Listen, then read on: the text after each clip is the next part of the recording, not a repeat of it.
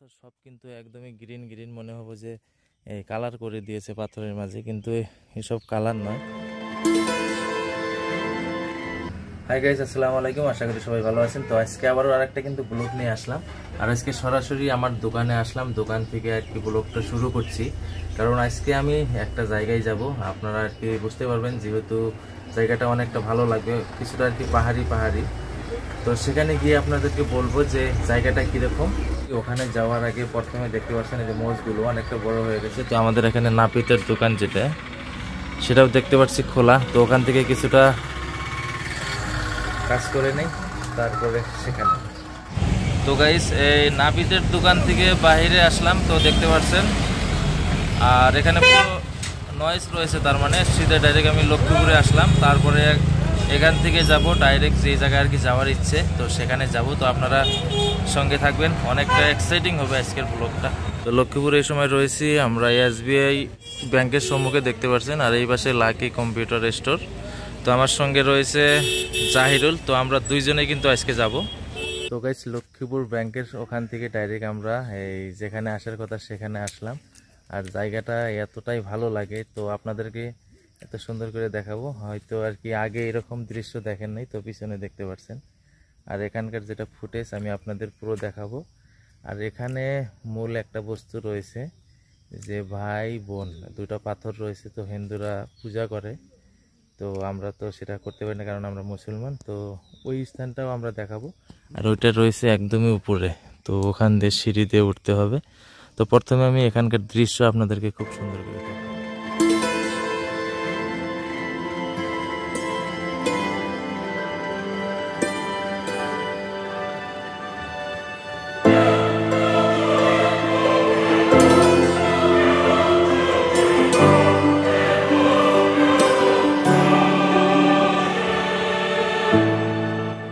এখানের মানে দৃশ্য দেখতে পেলেন মানে এতটাই গ্রিন জায়গাটা যে, প্রত্যেকটা পাথর কিন্তু একদম গ্রিন গ্রিন হয়ে আছে আর কি আমার পিছনে যে দেখতে পাচ্ছেন। আর এখানে জায়গাটা এতটাই শুনশান মানে অন্য কোনো আওয়াজ আপনারা পাবেন না যে, পোকার যে সাউন্ড কিট কিট সাউন্ডটা সেটাও কিন্তু শোনা যাচ্ছে। তো গাইস মোটামুটি আমরা এই পাশ দিয়ে সিঁড়িতে উঠবো ডাইরেক্ট তো জাহিরুল রয়েছে, এই পাশে ফটো উঠছে, দেখতে পাচ্ছেন। তো আমরা এই পাশ দিয়ে উঠবো। আর এখান দিয়ে অনেকটা সুন্দর মানে সিঁড়িটা আরম্ভ হয় ওখান থেকে।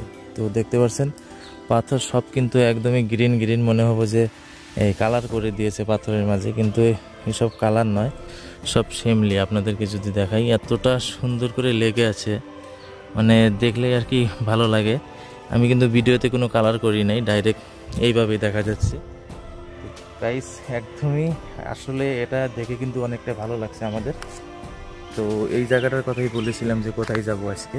তো প্রত্যেকটা পাথর দেখতে পাচ্ছেন এরকম মনে হবে যে সব কিন্তু কালার করে রাখছে আর কি। এরকম একটি মনে হচ্ছে। ভাই যাই হোক, আমরা প্রথমে উপরে যাই। তারপরে ওখানকার যে ভাই বন্ধুরা পাথর রয়েছে, সেটা আপনাদেরকে দেখাবো। তো গাইস আমরা কিন্তু উপরের দিকে আসলাম। এই যে এখান থেকে কিন্তু দেখতে পাচ্ছেন মানে সিঁড়িটা আপনার একদমই তল থেকে হয়েছে। ওই যে গেট ওইটা হলো আপনার মেন গেট তারপরে ওখান থেকে এই পাশে।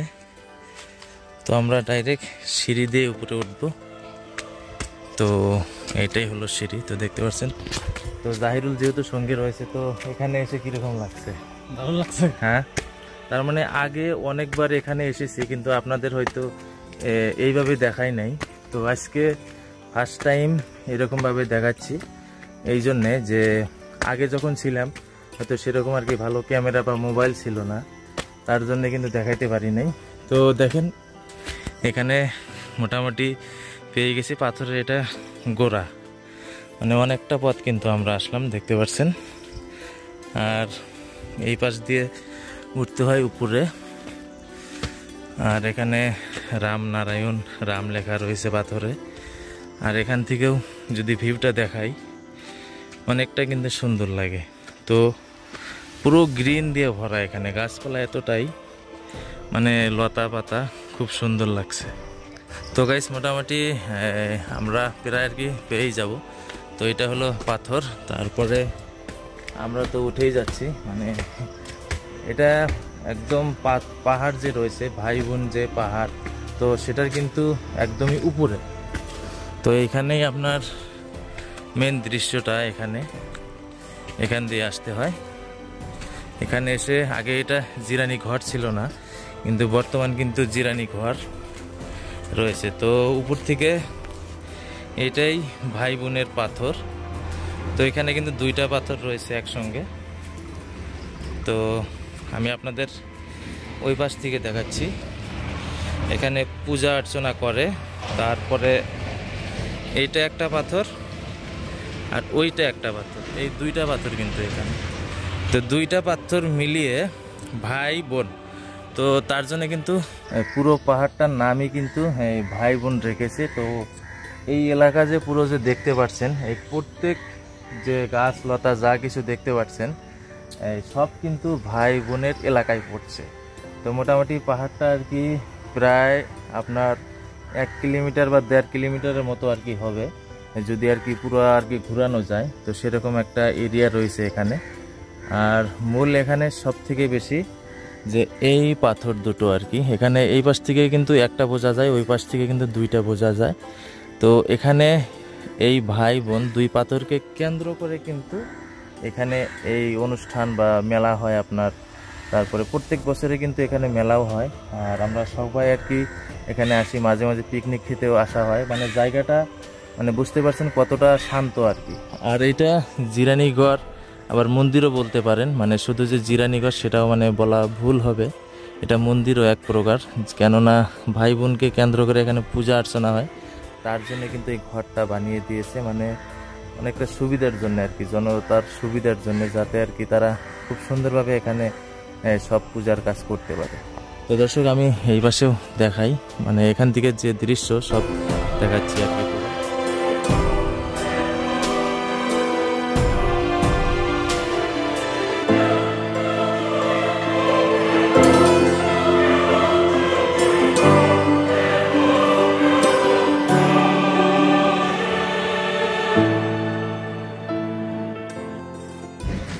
গাইজ যাই হোক আর কি, দৃশ্য যা কিছু এখানে থুলমূল রয়েছে আর কি, যতটুকু আর কি সম্ভব আপনাদেরকে আর কি দেখাইলাম। মানে আসলে জায়গাটা অনেকটাই সুন্দর লাগছে। আর এখানে দেখতে পাচ্ছেন খুব সুন্দর সুন্দর এই যে ফুল। এই ফুলগুলোর আর কি নাম কি ছিল আর কি বলতে পারব না। তো কমেন্ট করে বলবেন, যেনারা আর কি জানেন। তো গাছটা আমি দেখিয়ে দিচ্ছি।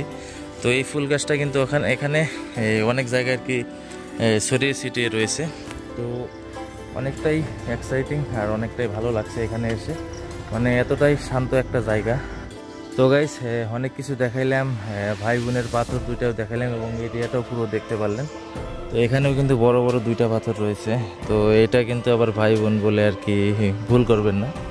এখানেও দুইটা পাথর সেম তো ওই পাশেরটা কিন্তু ভাই বোন আর এই পাশেরটাকে এমনি আর কি আমরা এসে আর কি জিরাইতে পারি। তো বসে থাকা যায়, খুব সুন্দর। জায়গাটাও অনেকটা সুন্দর। তো দর্শক, এতক্ষণ আর কি যত কিছু দেখাইলাম, তো মোটামুটি খুবই সুন্দর, ভালো লাগছে। এবং আমরা বর্তমান রয়েছি কিন্তু একদমই টপে। মানে ভাই বোনের পাহাড়টা যে রয়েছে, তো সেই পাহাড়ের একদম টপে রয়েছে আমরা। মানে এর উপরে আর নেই, যদি থাকে। তো গাছের পাতা রয়েছে এবং আকাশ। তো যাই হোক, আজকের ব্লগটা এখানেই শেষ করছি দর্শক। তো মোটামুটি আপনারা সবাই ভালো থাকবেন। তো নেক্সট ব্লগের জন্য কিন্তু আপনাদের অল্প থাকতেই হবে, কারণ আবার আর একটা ব্লগ বানাতে হবে। তো যারা আর কি নতুন আমার চ্যানেলে এই মুহূর্তে রয়েছেন, তো অবশ্যই সাবস্ক্রাইব করে দেবেন, কারণ আমার চ্যানেলটা সেরকম যে গ্রোথ সেরকম নয়। তো আস্তে আস্তে আপনাদের সাহায্যই কিন্তু গ্রোথ হবে। তো দর্শক, যাই হোক, একটা লাইকও করে দিন অবশ্যই। আর আজকে এখানেই শেষ করছি, দেখা হবে পরবর্তীতে। তখন ভালো থাকেন, সুস্থ থাকেন, আসসালামু আলাইকুম।